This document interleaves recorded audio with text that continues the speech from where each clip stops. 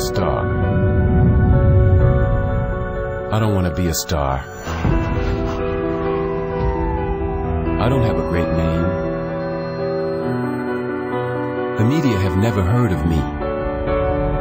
No public, no cheerleaders.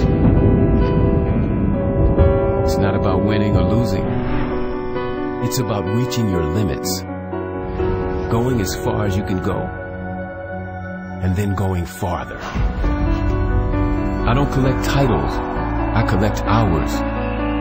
Hours of hard work. Hours of pain. That's just me. I'm playing for the ultimate victory. The victory over yourself.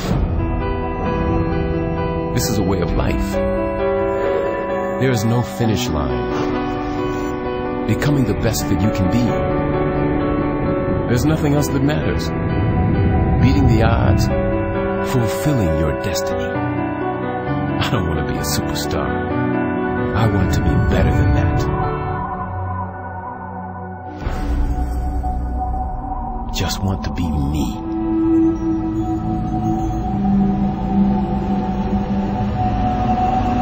just want to be me.